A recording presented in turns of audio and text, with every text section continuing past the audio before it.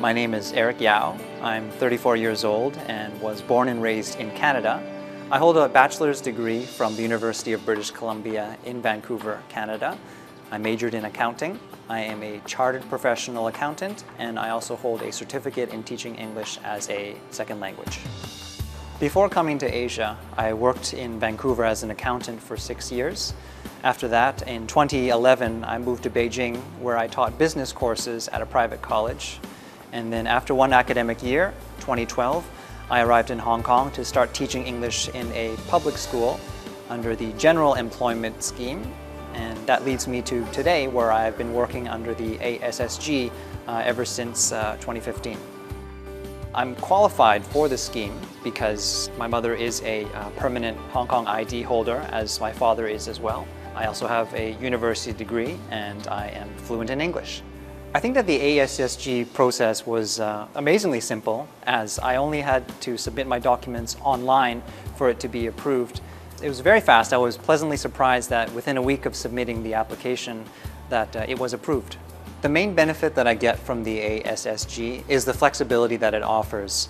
Before this school, I was working in Central uh, at a finance startup that's where I first used the ASSG and when I changed jobs from that job to this job teaching at a public school, I wasn't required to fill out any extra paperwork, so the flexibility was definitely very helpful.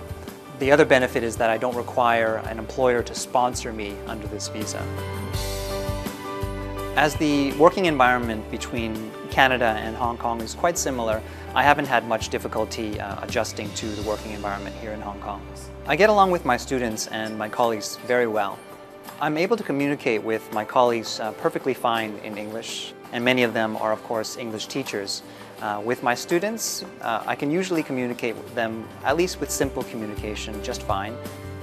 What I enjoy doing most in Hong Kong is uh, playing sports. I like playing dodgeball, basketball, basically anything with a ball. And it's great in Hong Kong because of the weather, I can play any of these sports 365 days a year. I would definitely recommend the ASSG uh, visa for my friends and anyone who, who asks. I think it's, it was very efficient process from application to receiving the visa and it's, it's a great way of uh, putting a step ahead of uh, other candidates who may not have uh, a work visa in Hong Kong.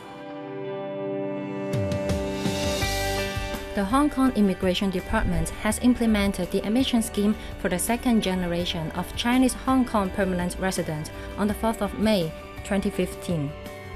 Apart from normal immigration requirements, applicants under the scheme will have to meet the following criteria. The age between 18 and 40. Be born overseas. Have at least one parent who is the holder of a valid Hong Kong permanent identity card at the time of application and was a Chinese national who had settled overseas at the time of the applicant's birth. They must have a good education background, be proficient in written and spoken Chinese or English, and have sufficient financial means. Persons admitted under this scheme may apply to bring in their spouse and unmarried dependent children under the age of 18 to Hong Kong under the prevailing dependent policy. Persons admitted under the scheme may also apply for the right of abode in Hong Kong in accordance with the law after ordinarily residing in Hong Kong for a continuous period of not less than seven years. Please contact the Hong Kong Immigration Department for inquiry on the scheme.